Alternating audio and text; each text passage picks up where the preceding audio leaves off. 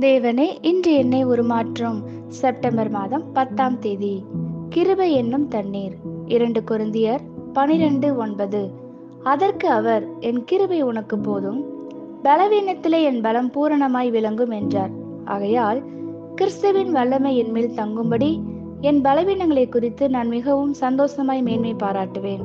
வாசிக்க வேண்டிய பகுதி ரோமர் ஐந்தாம் அதிகாரம் பத்து முதல் இருபத்தி ஒன்று வரை. நாம் தேவனுக்கு சத்துருக்களாய் இருக்கையில் அவருடைய குமாரனின் மரணத்தினாலே அவருடனே ஒப்புரவாக்கப்பட்டோமானால் ஒப்புரவாக்கப்பட்ட பின் நாம் அவருடைய ஜீவனாலே ரட்சிக்கப்படுவது அதிக நிச்சயமாமே.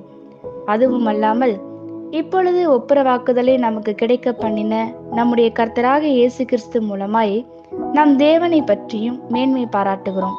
இப்படியாக ஒரே மனுஷனாலே பாவமும் பாவத்தினாலே மரணமும் உலகத்திலே பிரவேசித்தது போலவும் எல்லா மனுஷரும் பாவம் செய்தபடியால் மரணம் எல்லாருக்கும் வந்தது போலவும் இதுவும் ஆயிற்று. நியாயப்பிரமாணம் கொடுக்கப்படுவதற்கு முன்னும் பாவம் உலகத்தில் இருந்தது. நியாயப்பிரமாணம் இல்லாதிருந்தால் பாவம் எண்ணப்பட மாட்டாது. அப்படி இருந்தும் மரணமானது ஆதாம் முதல் மோசே வரைக்கும் ஆதாமின் மீறுதலுக்கொப்பாய் பாவம் செய்யாதவர்களையும் ஆண்டு கொண்டது. அந்த ஆதாம் பின்பு வந்தவருக்கு முன்னடையாளமானவன். ஆனாலும் மீறுதலின் பலன் கிருபிய வரத்தின் பலனுக்கு ஒப்பானதல்ல. எப்படியெனில் ஒருவனுடைய மீறுதலினாலே அநேகர் மறித்திருக்க தேவனுடைய கிருபையும் இயேசு கிறிஸ்து என்னும் ஒரே மனுஷனுடைய கிருபையினாலே வரும் ஈவும் அநேகர் மேல் அதிகமாய் பெருகியிருக்கிறது. மேலும் ஒருவன் பாவம் செய்ததினால் உண்டான தீர்ப்பு தேவன் அருளும் ஈவுக்கு ஒப்பானதல்ல.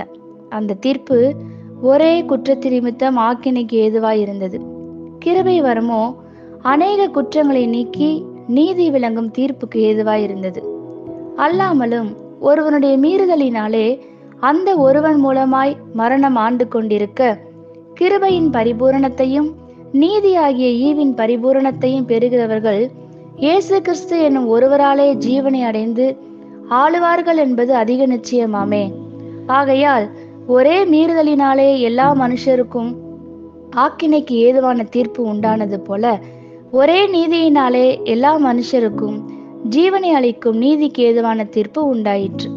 அன்றியும் ஒரே மனுஷனுடைய கீழ்ப்படியாமையினாலே அநேகர் பாவிகளாக்கப்பட்டது போல ஒருவருடைய கீழ்ப்படிதலினாலே அநேகர் நீதிமான்களாக்கப்படுவார்கள்.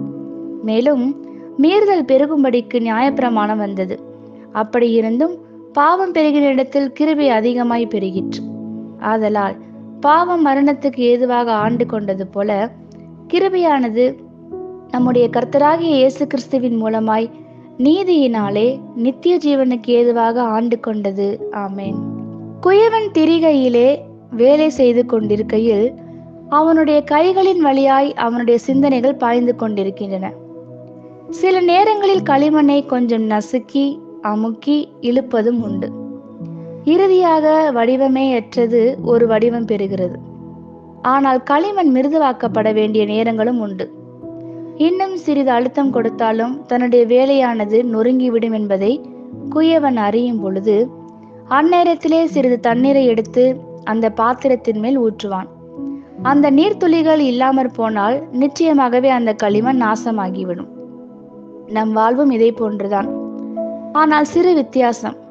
களிமண்ணுக்கு முரட்டாட்டம் பண்ண தெரிந்து கொள்ள ஜீவன் இல்லை. நமக்கோ ஜீவன் உண்டு. தேவன் பேசும்போது அவருடைய நோக்கத்தை புறக்கணிப்பது வெறித்தனம். காரணங்கள் கூறி நழுவினால் நமக்கு பயன் ஒன்றுமில்லை. ஒவ்வொரு முறையும் நீங்கள் தேவனுடைய நோக்கத்தை தாமதிப்பதும் உங்களை கடினப்படுத்துவதும் இறுதியில் உங்களை நிலை கொலைய செய்கிறது. தேவன் உங்களிடம் காண்பிக்கும் காரியம் கடினமாய் தோன்றலாம். மனித ஆற்றலுக்கு கூடாத ஒரு காரியமாகவும் தோன்றலாம். நான் தேவனே வேறொருவர் வேண்டாம் என்று கூட நீங்கள் நினைக்கலாம். ஆனால் கீழ்ப்படிய தெரிந்து கொள்ளுங்கள். பின்னர் நீங்கள் தேவன் தம்முடைய கிருபையை உங்கள் மேல் ஊற்றுவதை காண்பீர்கள்.